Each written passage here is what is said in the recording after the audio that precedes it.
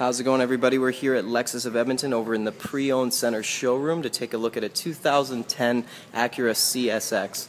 It is a 2.0 liter four-cylinder engine underneath the hood, front-wheel drive, and it's a five-speed automatic. Now, I don't know too much about this car personally, but we're just going to do a quick walkthrough, check out the main spaces of the vehicle, and a quick overview of the options. So we do have integrated turn signals on the light on the mirror here. We do have the rims are, it looks like they're 17 inch rims, they're original manufacturer rims here. Tinted windows, aftermarket of course. If we take a look inside the door panel, we do have the power windows, locks, your power mirrors as well. Uh, your steering wheel is tilt adjustable. It is just not powered, it has the manual release lever at the bottom there.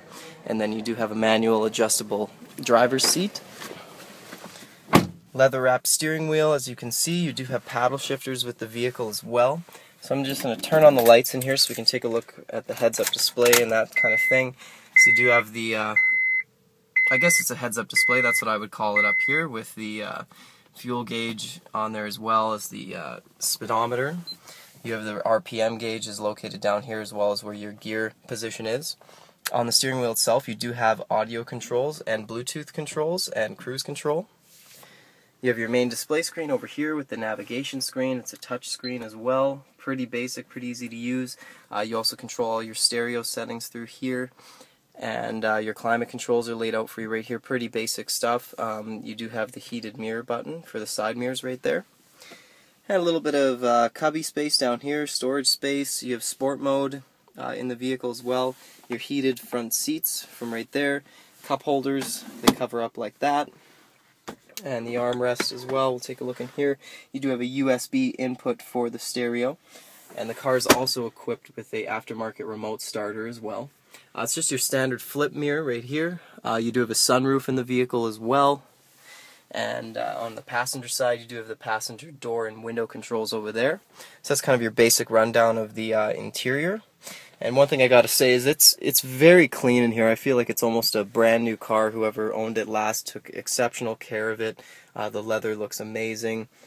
Uh, the vehicle itself just it looks like there was only ever a driver in the in the car for the most part. Uh, so let's go take a peek at the rear seats. We'll check out the trunk space as well. So you pop the trunk down here, pull that lever,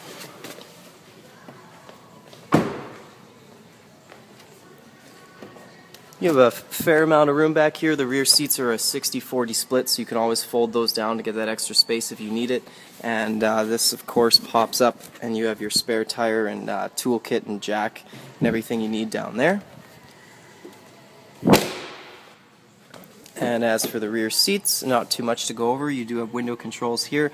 It's a single piece floor mat that runs the length back there, and you do get the center seat armrest as well with the cup holders on it right there pretty uh, decent amount of legroom if uh, the front seats were positioned properly. They're a little bit far back right now. And again, it looks so clean in here. It's very, very nicely taken care of. Uh, so that's about it for your walk around video of this Acura. If you have any more questions, give us a call, 466-8300, or just drop by the dealership. We're at 170th Street and 111th Ave. And uh, please take a second to check out lexusofedmonton.ca. Thanks so much for checking out the video, you guys. We'll see you next time.